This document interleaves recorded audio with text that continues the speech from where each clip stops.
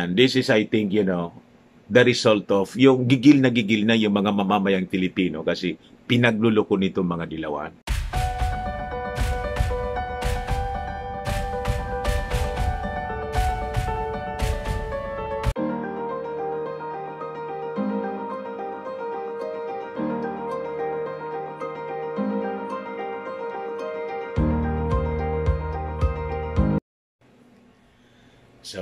Galit mga kababayan yung uh, city government ng Quezon City na dismaya at galit ang uh, ano yung city government dahil sa matinding traffic kanina na kausa ng napakaraming tao mga supporters po ni Bongbong Marcos at uh, Inday. Yan kasi ang titigas kasi ng ulo ninyo. Kayo kasing mga nasa city government ng ano, ng Quezon City, nasanay kayo sa konti. Yung mga dilaw eh. Sanay kasi kayo sa social distancing. Di na justify ninyo yung uh, napakakunting participant sa mga pagtitipon ninyo. Kasi yan, yeah, we observe, strictly observe social distancing. Wala man kasi kayong tao, umingi ng permiso sa inyo yung organizer ng caravan ni Bongbong Marcos requesting for a bigger venue. Ayaw ninyong pagbigyan kung ano-anong rason. Kasi may nakakuha na niya, may nauna sa inyo. Uh, o ngayon, napigil ninyo hindi ninyo mapipigilan ang mga mamamayang Pilipino. Sabi ko nga, ito yung ganti ngayon sa inyo mga dilawan. O pero, at least na gano, umingi ng uh, pasensya, ng dispensa, yung kampo ni Bongbong Marcos through Attorney Vic Rodriguez. O, nag-post na sila at nag uh, humingi ng dispensa sa mga mamamayan dyan po sa Quezon City. Lalo na sa mga motorista kasi napakatindi yung traffic. Hindi na makadaan. Pati nga yung ano, pati nga yung yung uh, sinasakyan ni Bongbong Marcos. Hindi na makadaan sa daming tao na, na mismo nasa harap na niya. Alos tinutulak na lang o sabi ni Vic Rodriguez, pagpasensya na raw ninyo kasi hindi nila inaasahan ang ganong katinding participants. They were overwhelmed, mga kababayan, by the presence of thousands of supporters of Bongbong Marcos and Inday. Nakita na ninyo? Ito. Matindi yung description dito niya. Ano? Basahin ko. Iramin ko muna ito, ha? Uh, anyway, kinuha din naman ito ni Jason sa sa di man siya siguro nag-cover nito. Mismo personal nag-cover nito. Kinuha din niya itong ano, galing doon sa mga vloggers or BBM supporters na kumuha ng footage. Sabi dito, good evening, sabi ni Jason sa two hours ago. This is perhaps the best video slide that can that can best describe the Quezon City motorcade of the unit team BBM Sara. In my almost fifth, uh, in my almost five decades of media work, I have never seen such a sea of people. Dagat ng tao supporting candidates for national or local positions. Watch it and tell me if my assessment is wrong. O, tignan ninyo ba? Ano lang. Alisin ko yung background. Baka makapikto sa to. Ma maka Sea of people, mga kababayan. Kaya haba. Ang sabi po ng mga nandoon, almost more than 3 kilometers na ganyan siya. Yung stretch, mga kababayan, ng traffic ay uh, talagang matindi because of the you know participants more than 3 kilometers yung haba Yan o. Ganyan katindi. Sea of people. Sabi ko sa inyo po, not even during the time of President Digong, yung 2016 election, na may crowd na ganito. Kaya tama, nakalimutan ko sino yung nagsabi noon. Di ko na ma-recall. Na ikwento ko pa lang, uh, several days ago, nasa kanilang tansya, mga kababayan, yung ano, yung uh, crowd ni President Digong, mga 35% lang or 31%. Whereas, mga kababayan, ito, 55 to 65%.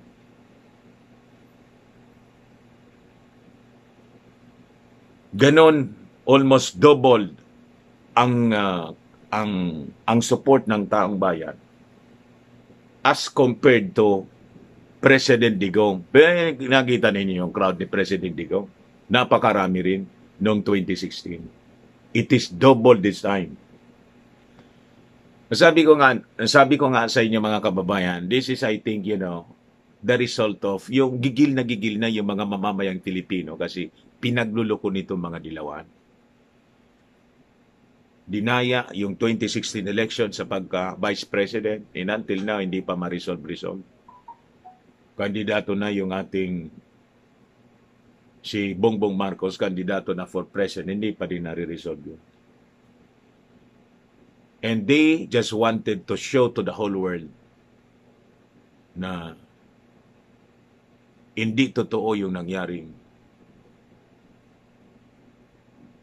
declaration ng winner during the 2016 election sa pagka-vice president. And they wanted to, ano, tawag doon,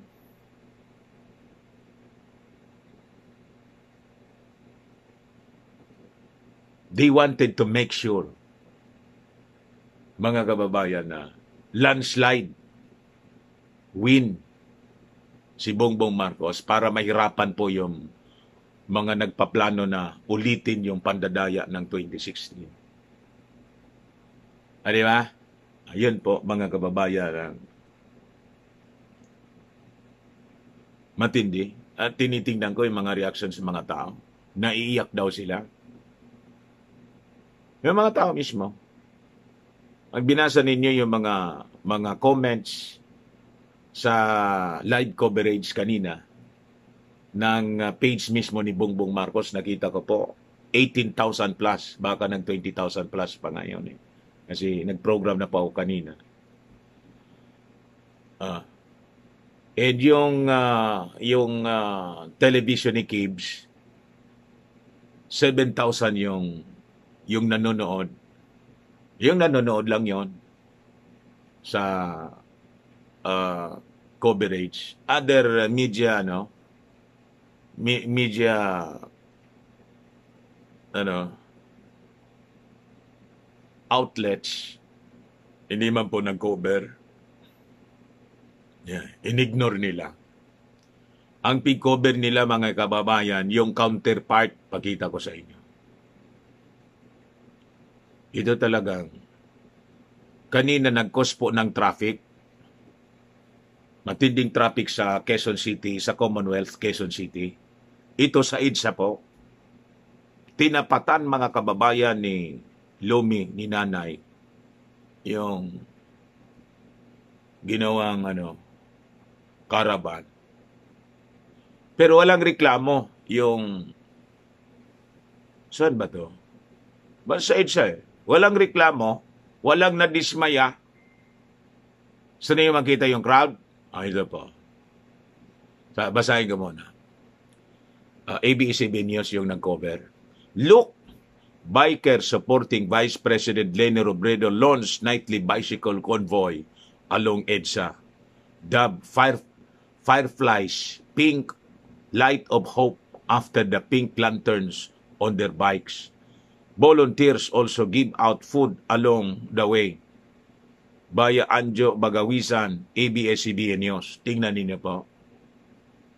Ah.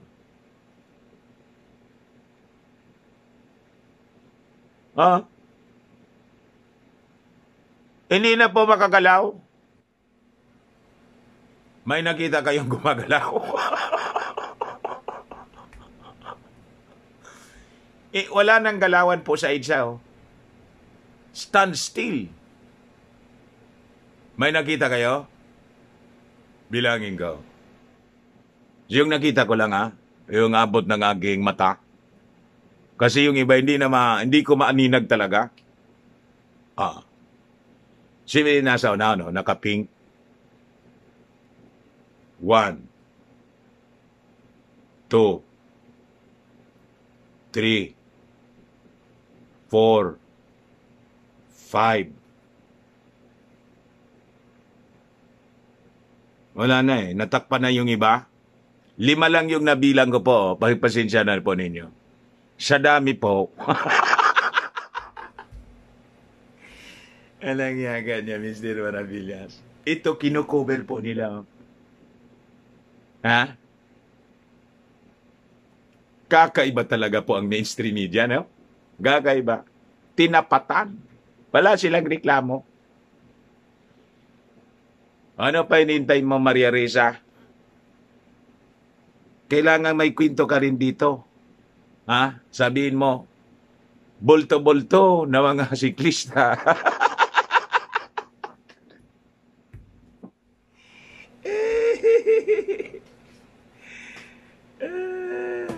Tapos yung mga reactions doon sa karaban ni Bongbong Marcos, super spread, super spread, ano? So, super spreaders daw. Magiging super spreaders daw yon ng ano, virus. Kailangan na niya mag-take action na niya na dapat uh, kasuhan na niya yan. Ah, kita ninyo mga ugali ninyo. Anyway, mga kababayan, gusto ko lang pong ipaabot ito sa inyo ng mga ganitong balita. At tapos ito, idagdag ko na siguro kasi may pasiklab din itong isang analyst po ng Ateneo yata ito, si Henry, sino ba itong, ano to? Yosinko yata? Ah, Henry Yosinko, ay pasiklab din siya. Pakinggan ka natin kung ano sinasabi nito.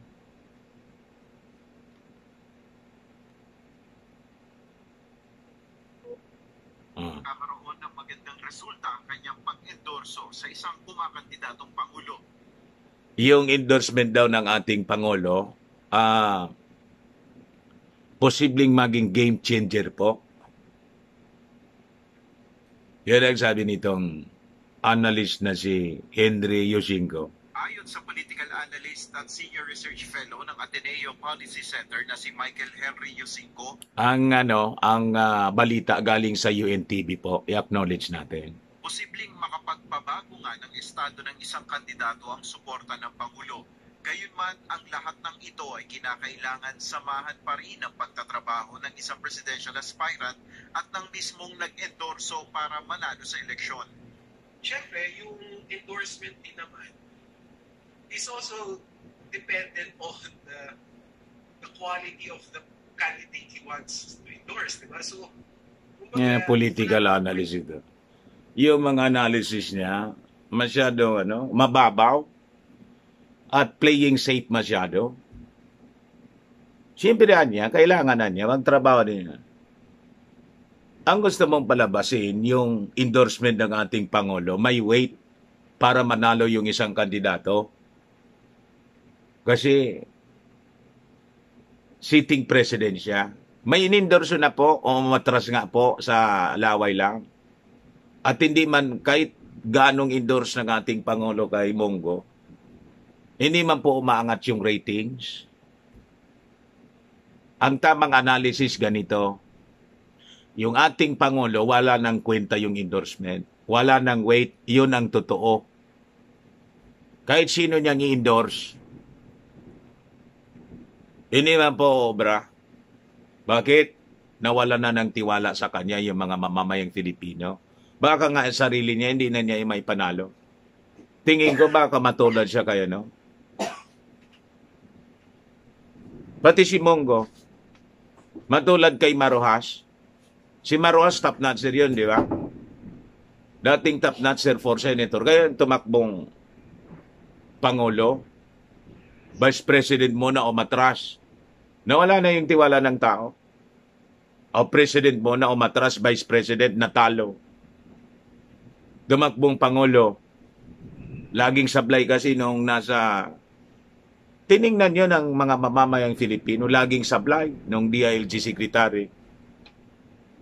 Puro sablay. Yung Pangulo, laging sablay si Pano. O di nadamay. Pati si Marwa sablay. Ganon din ngayon. Lagi kayong sablay ngayon eh. So anong sinasabi nitong political analyst na may weight pa? Wala nang weight. Baka noon, pero ngayon wala na po eh. Hindi nga umobra, yung anak nga niya, nagduda, yung anak niya, nagkaya siyang ipanalo ng tatay niya because he is the sitting president. Kasi kung naniwala si Inday na they have that support, popular support sa mga tao, dito makbo na sana siya. President, lumaban na siya kay Bongbong Marcos. Even Sarah has doubt And so, imbis kumampi sa kanyang tatay, ayun, sumama kay Bongbong Marcos. So tama yung analysis natin. Sila kasi wala man talagang loyalist. The DDS na sinasabi nila, wala man yon.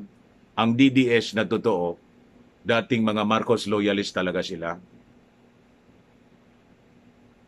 Tama? Yung DDS na dilawa na natira, tingnan niyo ko, konti lang. Ilan ang pumupunta doon para mag-post kay Mongo? Ilan nandun? Kaya nga si Mongo, urong-sulog siya. Kasi ang may hinihintay na milagro si Mongo, may panibagong na mga statement, pero rehas man lang. Talaga daw magre-resign na siya. Kailangan niya yung kwan, may, may hanggang May 9 pa, pamanan niya. Kaya hindi pa man ako pumupunta doon. So may hinihintay pong milagro. Yun ang, yun ang totoo niyan. Huwag kami po, Mr. Ano, Henry Yusinko, yung mga analysis mo, walang kakwinta-kwinta. At tiniyo ka pa naman.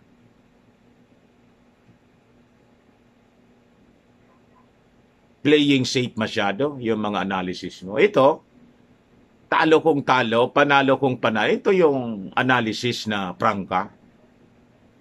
Di ba? Uh, ano masasabi ninyo mga kababayan? Tama yung sinasabi ko?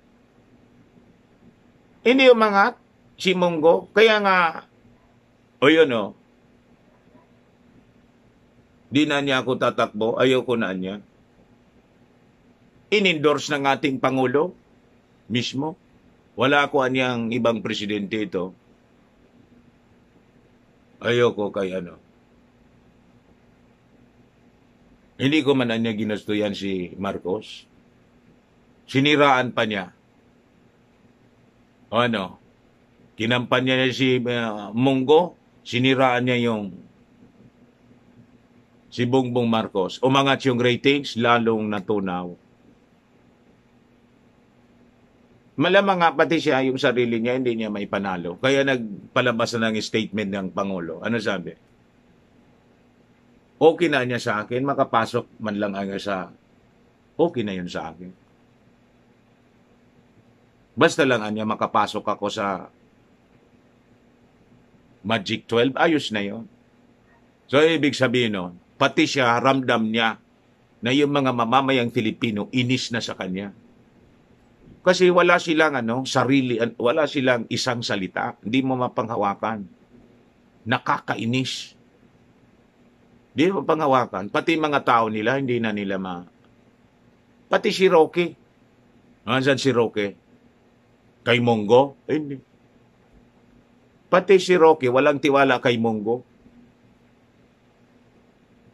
O ngayon, nasa na? O nandun na kay Bongbong Marcos, nagpa-adapt. Si Inday nga, walang tiwala sa inyo. Pamilya na ninyo. O kayong mag-amo. O di ba? Kung may tiwala po si Inday, di sana sa inyo. Tumakbo ng Pangulo. Tumakbo Vice Presidente. Saan yung tiwala niya? Tiwala niya sa crowd ni Marcos, ni Bongbong Marcos. And this time, tingnan ninyo. You see? Eh, description na, sea of people, never in my five decades in my broadcast career, sabi ni, nakakita ako ng ganito katinding mga tao supporting a candidate. Never. In national, both national and local positions, wala pa akong nakita ganitong crowd. Kahit nga po ako, senior sa akin si Jason siya. Yung mga five decades ako, mga 40, 30 to 1986 ako eh, 19 Tama, 86.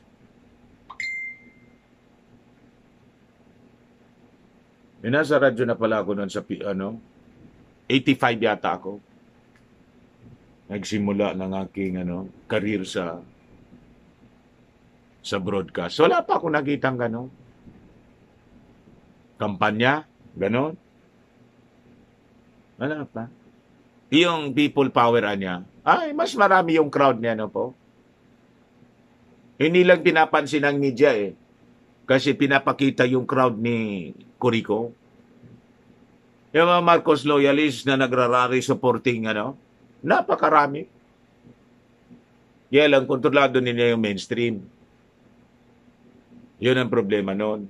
Ngayon, hindi na nila makontrol kasi there's no more uh, no more monopoly of uh, coverage because of the social media. Ayaw nila mag-cover ngayon. Sila yung logi. Nawala yung trust sa kanila ng mga mamamayang Pilipino. Ordinary people with cellphone can cover any event. Talo sila ngayon. O ba? Yan sinasabi natin. Nagbabago ang panahon. So yun lang po mga kababayan na gusto kong ipaabot sa inyo. Maraming maraming salamat po. Subscribe niyo po Dante Talks. Maraming salamat kasi yung isang video natin 24,000 na po. Yung Dante Talks natin the other day. At yung kagabi 18,000 18,000 plus na yung uh, views. So kahit bago pa lang ito, nagba-viral naman po kahit papano. Pero hindi pa niya matapatan yung isa nating channel. Eh, mga, mga subscribers natin doon sa isa nating channel, lumipat muna po kayo rito. Backup channel po natin, pasiguro para lagi tayo nagkakausap. Ako po si Dante Maravillas. Maraming maraming salamat po. Bye-bye.